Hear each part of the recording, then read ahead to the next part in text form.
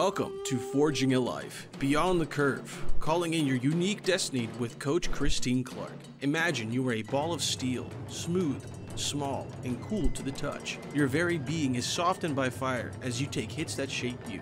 Christine is a transformational life coach dedicated to empowering entrepreneurs to create a whole life success on their terms. On this show, you will be forged into a magnificent, powerful, highly functional work of art that is your significant life. Now, here's your host, Christine Clark. Join me, Coach Christine Clark, as we forge our lives. We are going to go beyond the curve and call in your unique destiny. Who will you be when you believe you have what it takes? Hello, hello. I am Coach Christine Clark, and this is Forging a Life Beyond the Curve, calling in your unique destiny. I'm here every fourth Tuesday of the month at 11 a.m. Pacific and 2 p.m. Eastern. That's U.S. time. Hello to everybody listening on the radio waves. Those of you who are listening on internet, watching us on YouTube and Facebook. Hello, hello.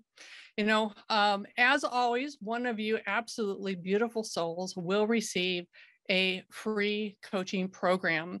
You know, build your bonfire, blaze into your destiny with laser coaching. This is uh, giving away one program free with each month.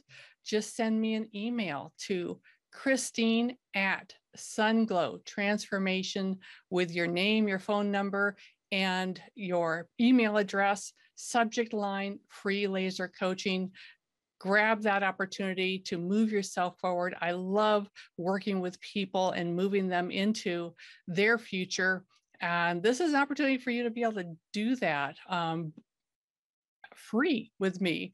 And I just love all the wonderful people that I get to meet and work with through this offer. It's been exciting. Uh, you guys are the best, absolutely the best. Today, we're talking about the subconscious, you know, to manifest abundance and achieve success. You know, we simply have to tap into the subconscious, right? And what I call your inner three year old or your hooligan, you know, our subconscious takes up 83 to 95% of the power of the brain, and its capacity is virtually unlimited. And so, why are we not excelling, you know, at life in all different ways? What's what's going on?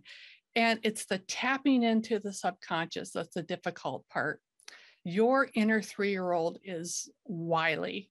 You know, she's a hooligan and she plays by her own rules. You know, accessing the subconscious requires us to understand that crazy inner child. So, if you're ready to claim the power within, join me here and we're going to talk about that uh, as we go forward today. You know, you've got to meet this hooligan and I want to introduce her to you. She is knowledgeable and she has the power of the subconscious, which is basically 9%, 90% of the brain. If you think of the giant iceberg, you know, you got the 10% on top above the surface, and then you got the 90% underneath. That's our intellect on top, and the subconscious is all that power, all that underneath the uh, surface of the water. One of Maxwell Maxwell Maltz, he was one of the authors that I cut my teeth on learning about self-development in the world. Um, back in hmm, the 30s or 40s when he wrote his book, he talked about it as your creative success mechanism. That piece of you that can bring to fruition, that has the power. And I want to introduce you to that three-year-old. Now, first of all, this child she knows way too much. Um, she has been recording everything since the day you were born that has ever happened to you. She knows everything. She knows when uh, you fell down and skinned your knee. She knows when you spilled the milk in grade school. And she knew when you had that crush on that really good looking kid and when you were in second grade. But she has all of it put down and it's stored permanently on the hard drive in her absolutely totally unlimited data bank. And she just isn't recording everything that has happened with us. She records how it felt. You know, what made you happy? What made you joyful? What made you sad? What made you frightened? And she details all of this and then categorizes it, you know, into positive and negative and sorts it out and kind of maintains it. But it's a huge thing that she has everything that has happened to you since first. I'm going to do a little screen share and we're going to just show you a quick picture of your inner hooligans. These are your these are your subconscious. This is your little hooligan boy and your little hooligan girl uh, that is inside of you that have been doing recording ever since you began um, your journey. And she is the absolute queen of all she surveys. And that's the thing about the subconscious. The subconscious, your child is the center of the universe. And just like a three year old, have you ever seen a three year old operate? Like they are in the center and everything else is around them, is for them, meant for them. You see a little kid and he sees a bright red ball at the end of the long aisle and he's going to, he's going after it because he sees it and he knows that's there specifically for him. And as the center of the total universe, everything revolves around them. And that's one of the really cool, powerful parts of your subconscious. The other piece of that, when everything revolves right around you as a child, then everything that happens is your doing.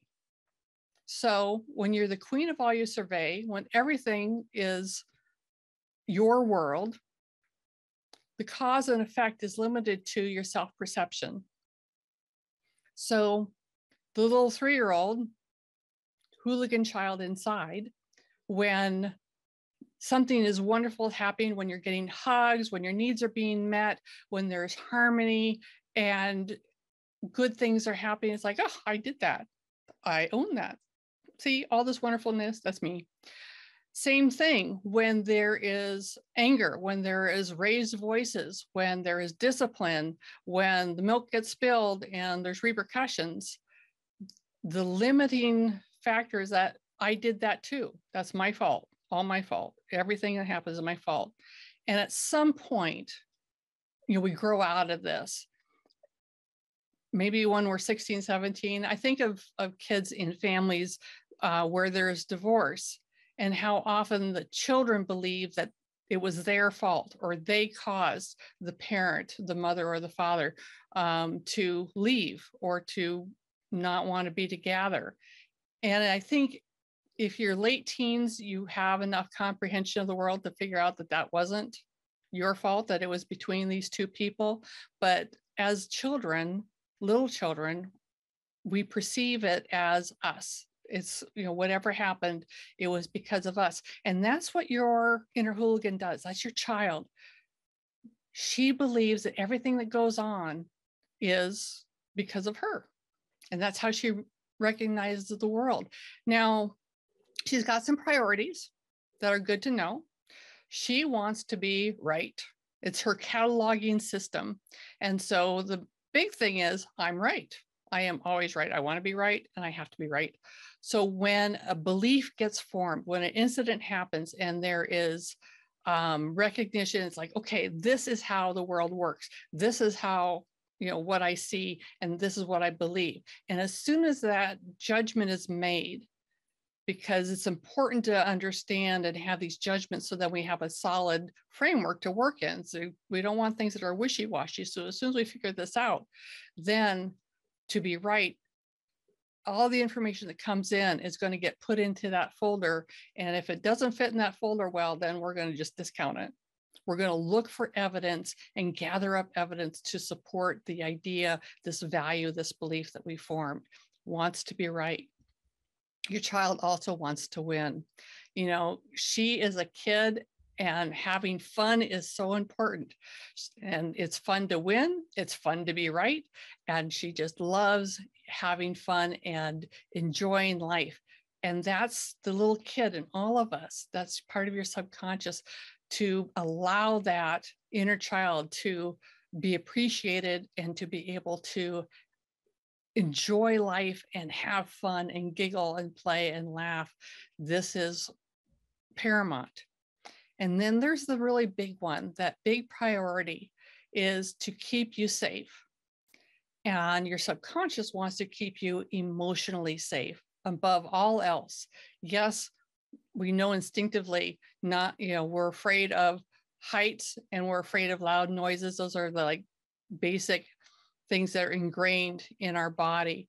And your subconscious wants to keep you emotionally safe in addition to that.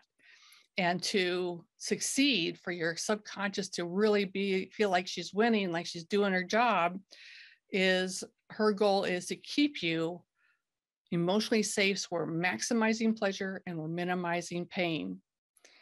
And so that's how the framework gets set up. And then she handles the information. Now we get, the brain gets millions and millions of bits of information every second. The stimulus is overwhelming. First of all, we want to know why. The brain wants to know why. It's a meaning making machine. And you think about the little kid, the two year old or the three year old that's always asking why why this? Why is that? Why, you know, why can't I have the Snickers bar before I eat my vegetables? Why do I have to eat my vegetables? Why? You know, and then why is, you know, why do we have to, you know, put on shoes? Why can't we just go barefoot? The why is the meaning making machine of the brain. And so they are always looking, you know, why, why, why, and then answering the question. The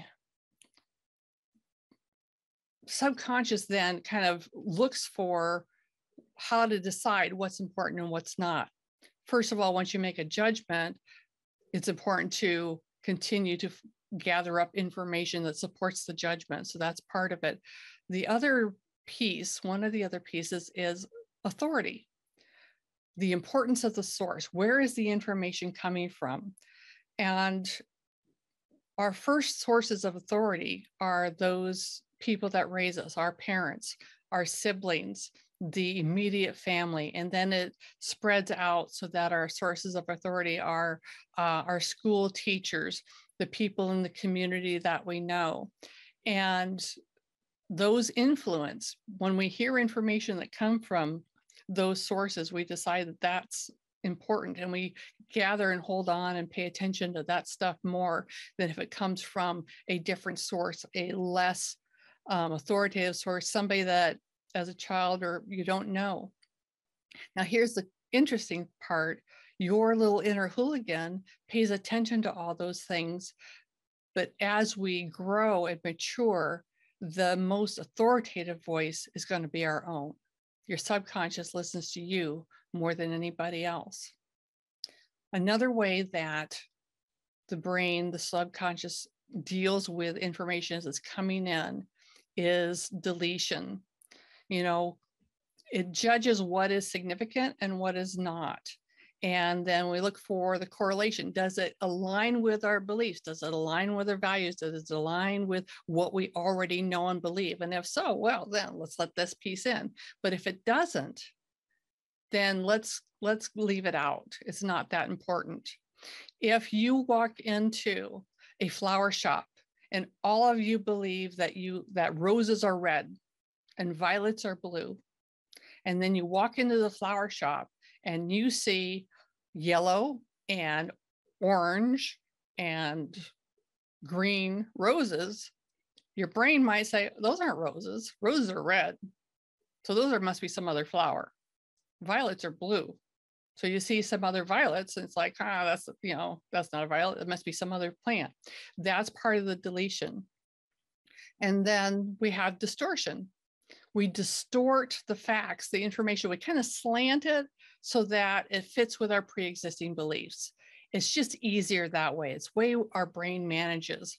One of the reasons why eyewitness testimony is not always exactly right? Because people are going to see what they're looking for, see what they believe, see what fits. And that way we can get rid of a lot of extra information because it's just too overwhelming to bring it all in. And then the last piece that your brain uses to figure things out is generalization to attribute experience from one event to an entire category, which the experience was an example of. So that is really great for us to learn to kind of group things together so we don't have to relearn it every single time. And let's say you walk into a bakery and you've never been in a bakery before and you walk into the bakery and they say well what would you like to have? Well i don't know i'm going to look at this and look at this look at this and the person behind the counter starts getting kind of cranky and says you know would you make up your mind? Figure it out you know it's just you know it's a pastry pick one you know, want a croissant you want a donut you want a filled bismarck? It's like you might think that all bakery owners are crabby no it's just that one but it was your first experience and so you might attribute that to something else you might attribute that to all bakers. And the part of this that goes with the current conversation within our country is that we attribute experiences to different people. And we decide, well, you know, all those people drive like crazy. They're just crazy drivers. Or we say, well, these people, they're just, you know, they're never show up for work. And we are attributing an experience from one and then categorizing it as experiences. This is example of how all, and that gets in the way of us really being able to connect, being able to expand, to learn, to really grow and be the people that we want to be in a community that we want to be because we'll generalize and we have to relearn those generalizations.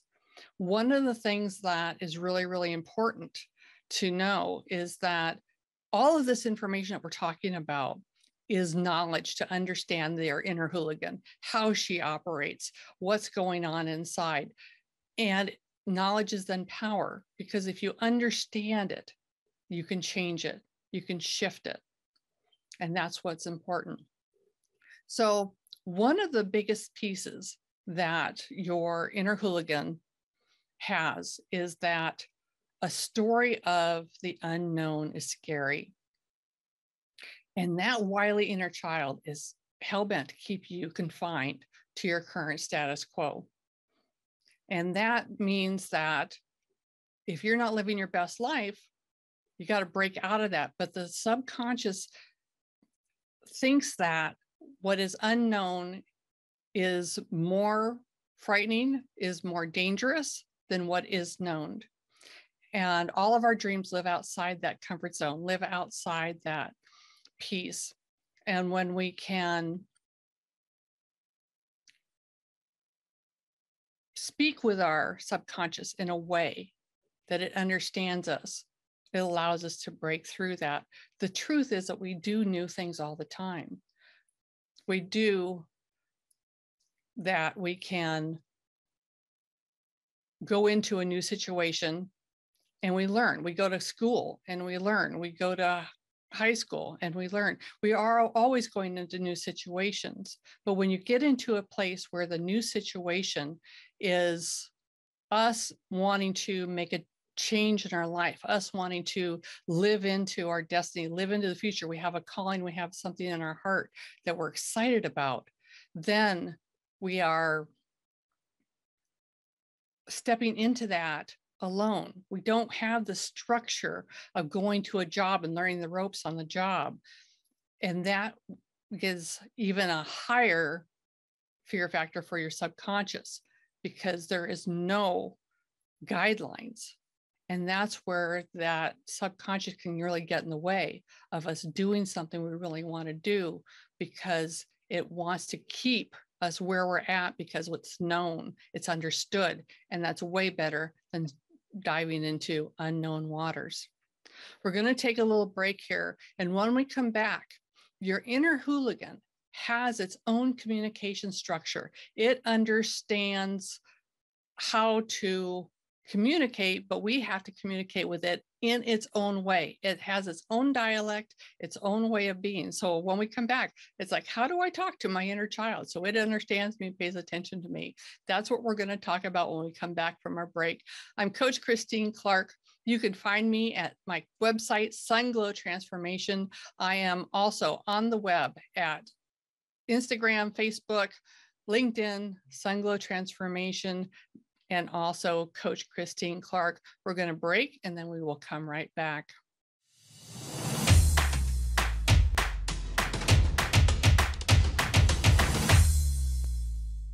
Yes, I am Coach Christine Clark. This is Forging a Life Beyond the Curve, calling in your unique destiny. Um, I'm here every fourth Tuesday at 11 a.m. Pacific and 2 p.m. Eastern.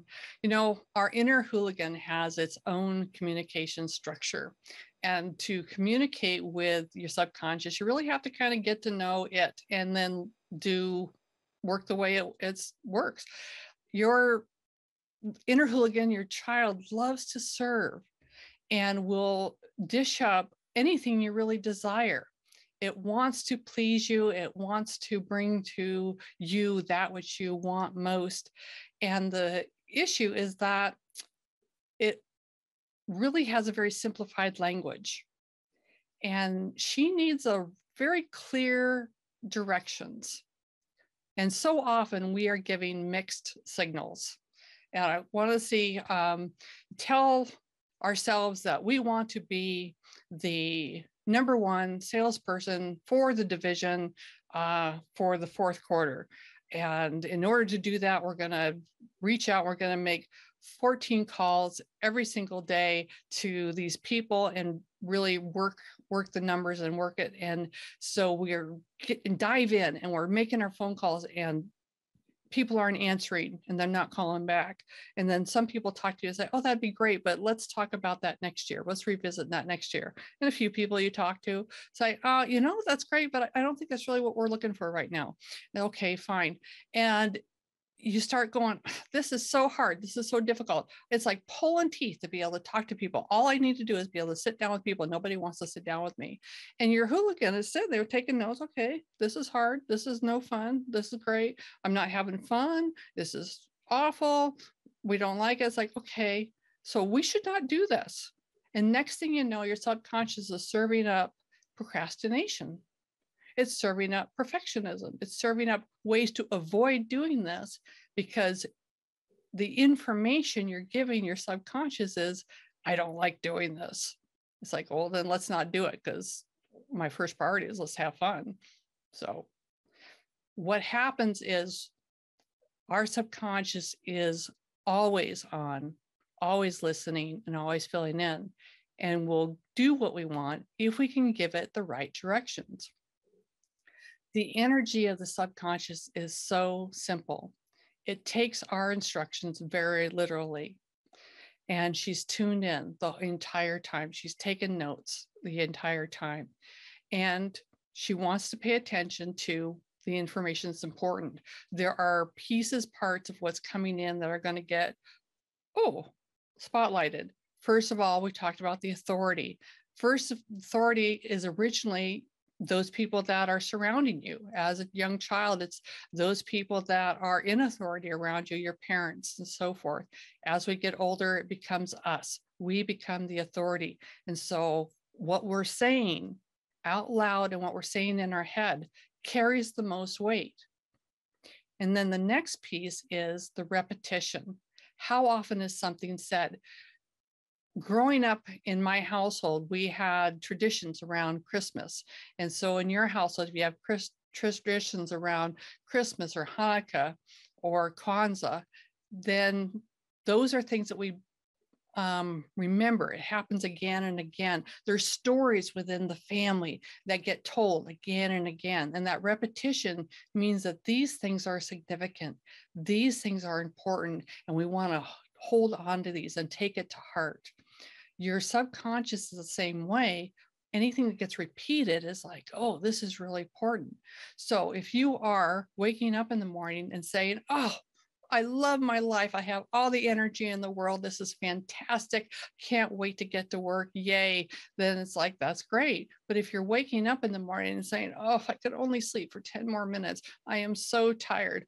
I never seem to be able to get ahead. There is so much on my plate. It's just wearing me out. I just can't stand this anymore. I just, there's no time. There's no time to do the work. There's no time to make the phone calls. There's no time to spend with my kids. I am just out of time. And guess what? Your subconscious going, oh, we're out of time. That's what you're going to get. You're going to get no time, no time, always no time, because you're telling it repeatedly that that's what's important and your subconscious doesn't have the intellectual under, understanding it's like a small child It is a three year old. And so whatever you say is expect it takes it for verbatim. Absolutely. That's what you're talking about. So that's what is. And that's what you're going to get. The other piece that makes information important is the emotional energy. And here's the thing I'm going to do another little quick screen share here. The emotional energy that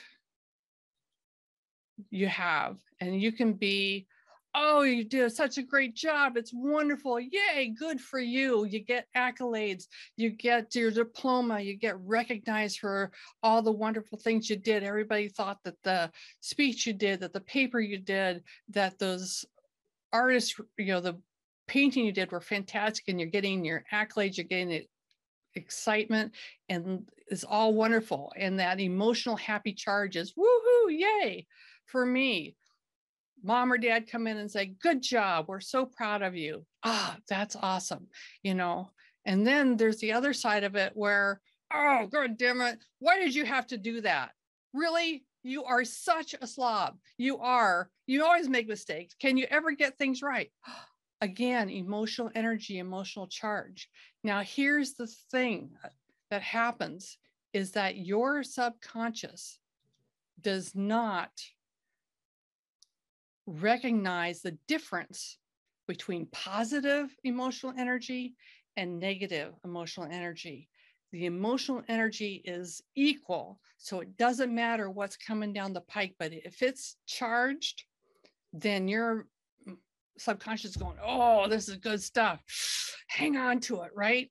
We want more of this because it thrives on emotion. What we want to be aware of is what are we giving it? what are we pushing into that's what is in so we can say okay when negative things happen then we have to dissipate that energy we have to manage it when good things happen take it on hold it but whatever gets the most energy gets your subconscious your inner hooligans attention and that's what she's going to do so those are the things that your subconscious pays attention to. Now, there's some mistakes that we make besides just the way we're communicating, is a lot of times we want to lead with our intellect. We want to lead with our ego. We want to lead with that top 10% of the iceberg that's above the surface because it thinks it knows what's going on. And what really is that the intellect makes bad choices as far as what to do or how to do it because the ego gets involved. It wants to look good. It wants to be able to get approval from others as the most important thing. It wants it to be bright and shiny and the steps forward to be easy and to look suave while we're sweating, right? When you allow your subconscious, your heart, your soul to decide what you want to carry forward, what you want to do, the intellect is a great tool to bring in to create the steps to get there, but it isn't a good leader, it's a great follower. So the first mistake is that we tend to lead with our head rather than with our heart. And if we can switch that around, we are plugging into the power of our subconscious so much easier. The other thing that we get caught up on is believing that there's a quick fix, that whatever it is um, we can have should happen faster. So many people I work with, I, you know, where are you at? Well, I'm not as far as long as I want to be. It's like, okay, yes, we understand this because we always wish that we were further along. We always wish it could have happened better. Now, transformation in and of itself can happen very rapidly. You can do a walkthrough, do an exercise, and you can shift. You can release some baggage, get a new story, and have a clearer understanding of something that now is empowering that used to be disempowering, that can happen. But just because you have that moment of clarity and brightness, you still have to do the work to maintain that because we all have this entire life history of baggage and preconceived notions and ways we have operated that have to be re massaged and reorganized and the truth is that that old patterns are going to pop back up So it always takes time. And one of the things we fall prey to is the idea that I should be able to have an epiphany and never ever have to go back to the pain that I experienced before. Or I should be able to have be further along in my journey, have more than I have now. The process should be fast because we get told in media that there's overnight successes. What they don't tell us is that that person has been working on their project for 15 years. So the belief in the quick fix actually kind of breaks down and gets in the way of what the subconscious can bring to us. So, what do you need to know to get where you want to go? You know, your three year old doesn't care about tangible rewards. So, that is when you talk about what you want, when you set your goals, of course, we can have goals that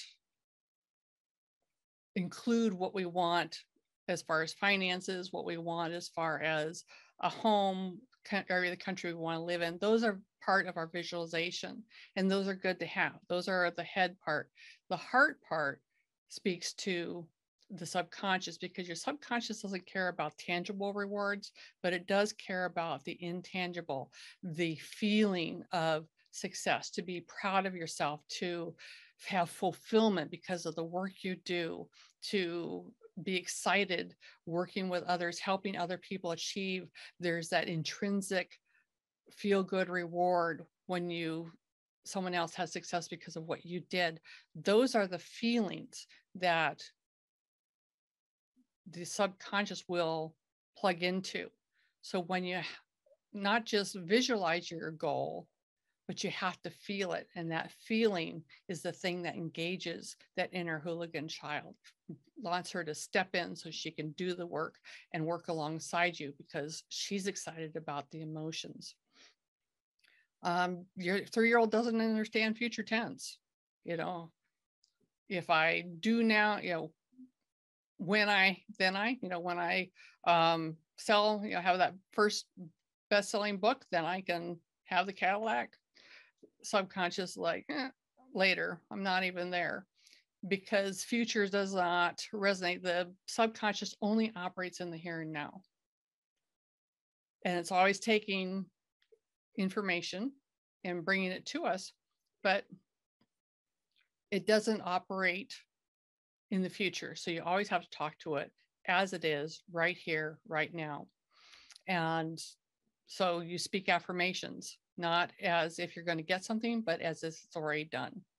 I am so happy and excited that I get to go speak to three groups this month. Yay, it's done. It's here. It's now.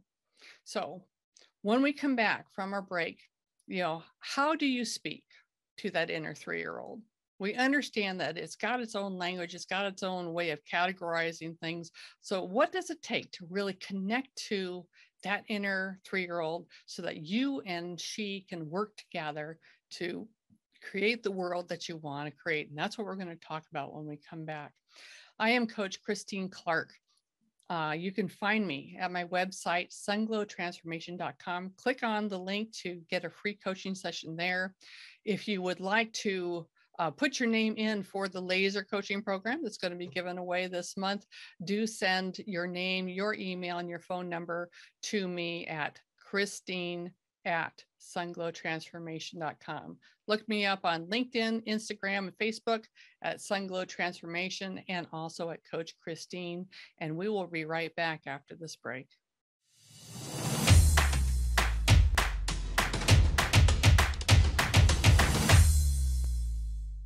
Hello, this is Coach Christine Clark, and this is Forging a Life Going Beyond the Curve, calling in your unique destiny.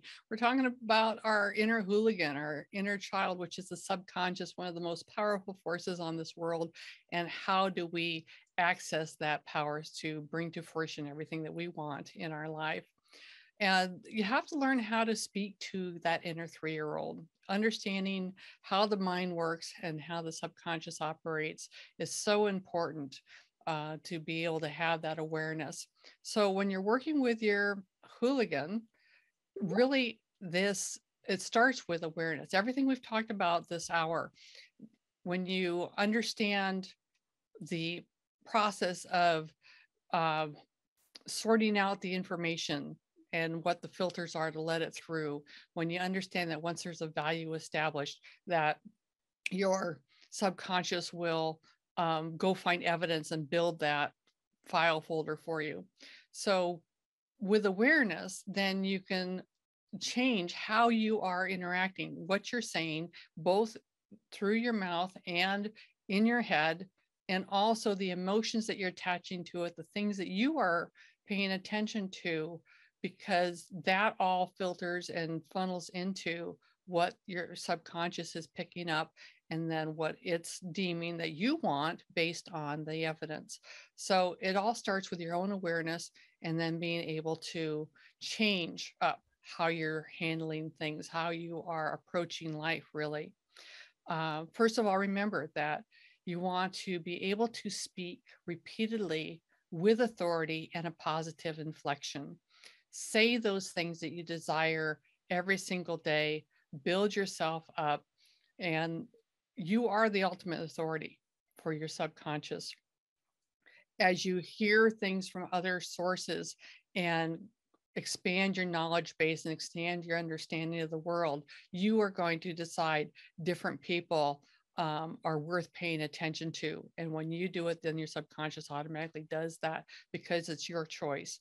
So, as the ultimate authority, what you say and how you speak to yourself is the big decision maker for whether or not you're going to get what you want because it depends on the messages you're giving that internal piece of you the positive inflection is huge you want to be able to put a lot of happy good juice on it, on everything that you do. And when things don't go right, breathe, let them go, recenter yourself. When you go down the rabbit hole of why and this is awful and I never, your subconscious is paying attention to that. And that is where we can really sabotage ourselves. So understand that life is happens and it's up and down and what's present in the moment, you can always take a new step forward. And that's the big thing.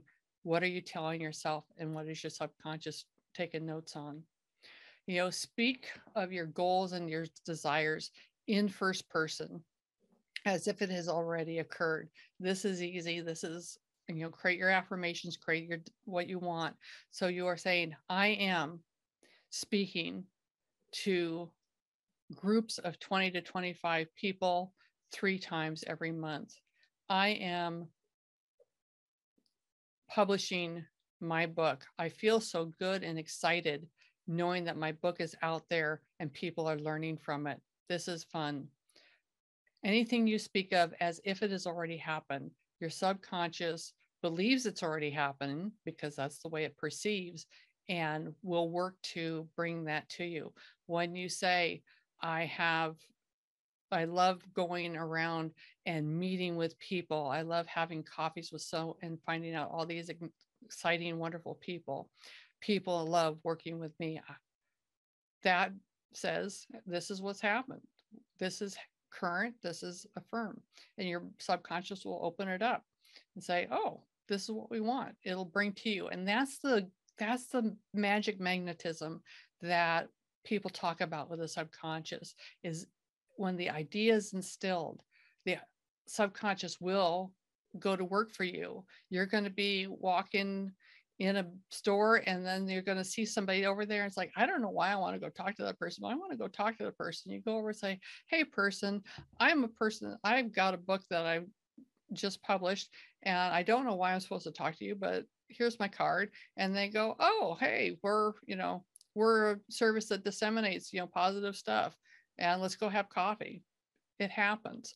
You get those intuitive hits that come from that subconscious having the radar open because you've told it what you're looking for by using current tense in your desires. So you listen to yourself, pay attention to the words that you're using and the voices that are speaking when you're talking, whether you're talking out loud or talking in your head if you are berating yourself, telling yourself that no matter what you do, it never works out, no matter how hard you try, it isn't going to happen. I have no time and I I don't have any energy. I can't do everything I need to do. There's too much. Your subconscious is hearing all that and making sure that you don't have time, that you are tired, that it is too much. When you are angry because you have done due diligence and you have did step A, step B, step C, and you're not getting the results you want, and you say, well, this is just dumb, this is stupid. I hate having to call so many people. I hate having to constantly go out and do coffees. Your subconscious is listening and saying, okay, well, let's not do that. Let's procrastinate. Let's sabotage this. And the worst part is that inner critic. When the inner critic starts beating the crap out of you, that's your own voice selling yourself that you are not up to the task, that you are not worthy, that you are not, that you're not, period. And your subconscious is hearing that. And what I question you want to ask is would you say that to a three year old? If your inner self was sitting there in front of you, would you be saying these things to that child? Would you tell that three year old that because they fell off the teeter totter and chipped their tooth that they're no longer ever going to be photogenic? No, we wouldn't do that. Would you say those things to a friend? No, you wouldn't say those things to the friend. So don't say it to yourself because your subconscious is listening and it's taking it all in. And you have the power to change it up by what you're telling that child, that inner child. One of the things that you can do is what I call mirror exercise and just take a moment each night and look at yourself in the mirror and say in first person, Christine, Benny, Jacob, whoever I am, looking into the mirror and saying, you know, I am so proud of you. I am, you did great things today. You got out of bed, you went to work, you showed up well. I think it's wonderful. And then the last thing you say is, I love you. And when you say that to yourself in the mirror, you're speaking to that inner child, that subconscious that is getting its strokes, that is getting to be appreciated. It gets to win. And then it can bring empowerment to you. And the worse that little exercise feels, the way more we need it. So, to get outside your comfort zone, we always are stepping into new things. But when we go for something that we're really called to do, quite often there's not a lot of structure in it because we're not doing it as part of our schooling. We're not doing it as part of a job. We're doing it as something that we personally are invested in. And if it's heartfelt and if there's a lot of passion and we're stepping into it, that is really scary for your subconscious because you're stepping outside the comfort zone and you are just you're going into the unknown which is part of it. The subconscious loves to stay in what's known loves to keep us because even if it's not fun it's not happy even if our circumstances in the best circumstance in the world it's what we know and that's why we hang on to it. That's why it's very difficult to overcome bad habits because we're used to them. When you're stepping out to really go for something, especially if you're really in passionate about it, if your heart is in it, that's a lot of risk. You're risking so much emotion because you've elevated the stakes because you really, really, really feel strongly about this and that subconscious that inner child's going oh my goodness we go oh this is scary and so the fear you feel and the sabotage that shows up is just your subconscious wanting to keep you comfortable because that unknown step is a we have no idea what's going to happen. And B, you're really passionate about it, and that's really risky. And so, what we want to be able to do is acknowledge that, okay, I understand you're trying to keep me safe. I appreciate you for what you have done for me in the past. And it's okay, I've got this. To be able to acknowledge your inner hooligan, that he and she has done their due diligence. I appreciate you. You have guided me this far. And I want you to know that we're going to be okay. Talk to that child. Let them know that this fear does not necessarily have to be and that it's going to be all right. And release, release the child. I no longer need your protection in this. You have done good. You've done a good job. Thank you for your care. I've got this. And that's the really important part that we want to be able to have. So you learn to speak to that inner child in ways that it understands. Let it have fun. Appreciate every single thing that you do. Because when we are in disappreciation, when we're in no matter what we do isn't enough, and we keep telling ourselves that, pretty soon that little inner child that subconscious says okay i'm i'm taking my ball and i'm going home because i am this isn't fun anymore. So we don't want to do that. So you want to be able to appreciate you want to be able to recognize and what it's done for you and say yeah let's let's work together and move forward so we can achieve our dreams. I'm hoping that what is important that you take from this today is that the subconscious has its own language. It categorizes different things and that absolutely you have what it takes to turn it around to communicate to love on that inner child and she will love you back and she will bring to you what you want if you understand to be able to speak to her the way you want to speak to her. You know the subconscious is absolutely powerful.